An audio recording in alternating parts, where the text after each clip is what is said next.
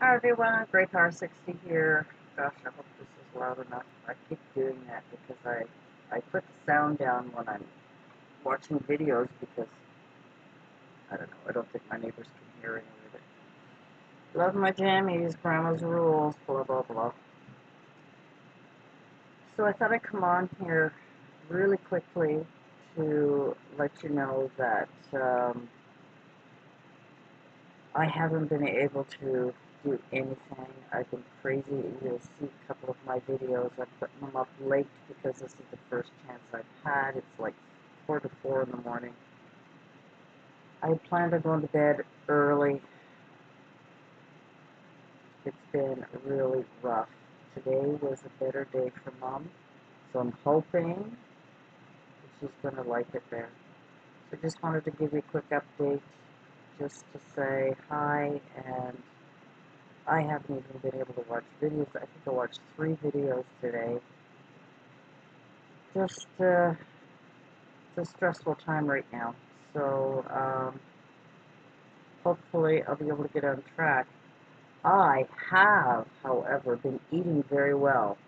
Even though maybe one, one or two meals a day, at least I'm eating so well. I made myself, um, uh, chicken salad sandwich with um, blueberries and raspberries for dessert, and a cup of tea, drinking a little more water, had some juice, my favorite mixture that I like. I still haven't tried smoothies yet. I just, you know, just, I know it doesn't take long, but I've never done them before, and it takes time to, you know, prepare, whatever. Um, Yeah, that was today. Yesterday, I ate really well yesterday. Saturday was a write-off. Write off. Saturday, mom called me at 5 o'clock in the morning in pain and crying, and that was a horrible day. And I think I went to McDonald's for lunch because I was starving. Then I had to go to the dollar store, and then I think I stopped at uh, A&W and got some sweet potato fries, you know. So, I mean, it was just total I think I drank about six cokes. I mean, it was just a horrible day. So um, today is Monday night, but it's actually Tuesday morning. Tuesday morning early, so you'll see this on Tuesday. Um, I haven't been able to do much of anything. Now, today was a better day, like I said, for mom, so we'll see how it goes. Um, I had a long talk with her on Sunday, Saturday afternoon, late and Sunday. so let's hope this time of the morning I'm having a cup of tea. Just, you know, trying to get away from the pop.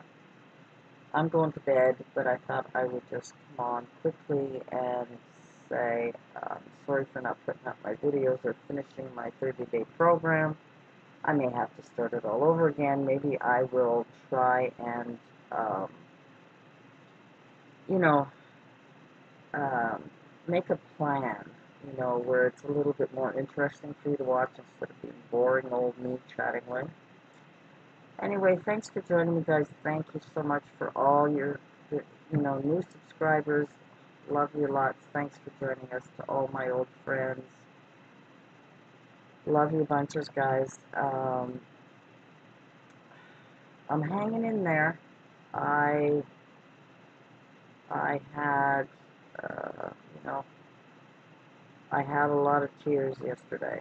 Um, not in front of mom, of course, after we, we discussed in this weekend, whatever. I called my daughter, talking to her, and suddenly I just let the waterworks go. I just cried and cried. Caught myself together, thanked her for listening to her mother make a fool of herself, and whatever. And then later on the day, I talked to my son, and again I burst into tears.